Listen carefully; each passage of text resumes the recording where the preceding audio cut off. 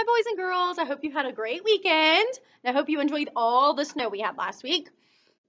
So, yesterday you had kind of a catch up day since we had all those snow days.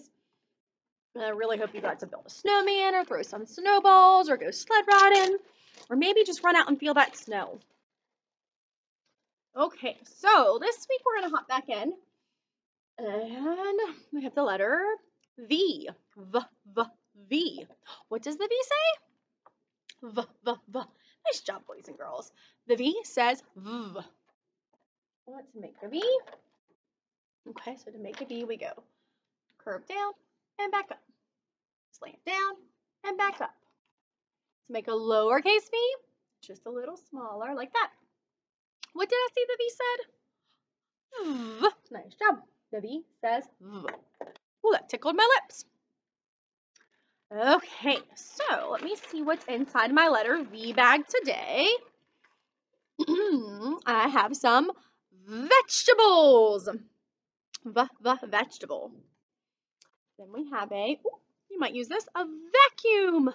Have you ever vacuumed before with a vacuum cleaner? Sometimes my kids like to do that.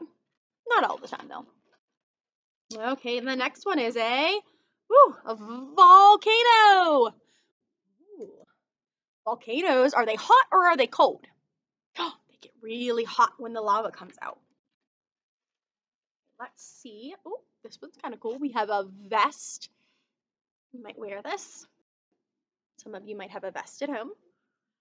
Okay, then we have a Valentine. Oh, and Valentine is coming up very soon.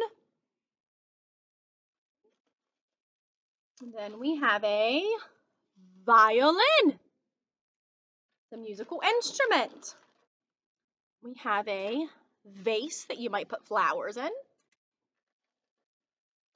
Oop, a picture of a van. The, the van. Let's see. What else? Oh, this one's kind of cool. We already talked about this, but it's another little demonstration of one. it's falling apart. It's a v v vacuum, and it has a bag back here to put all the dirt in. So we have a vacuum cleaner. Our vacuums don't really look like that anymore with that bag. They usually have something going up like this, so and it might look a little different.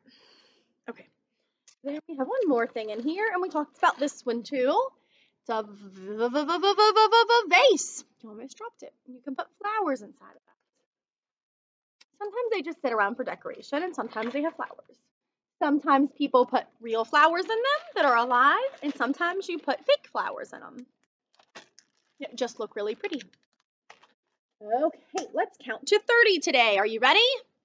One, two, three, four, five, six, seven, eight, nine, ten, eleven, twelve, thirteen, fourteen, fifteen, sixteen, seventeen, eighteen, nineteen, twenty, twenty-one, twenty-two, twenty-three, twenty-four, twenty-five, twenty-six, twenty-seven, twenty-eight, twenty-nine, thirty. I have a little tickle in my throat. Okay, boys and girls, nice job making it to 30. I hope you have a great day.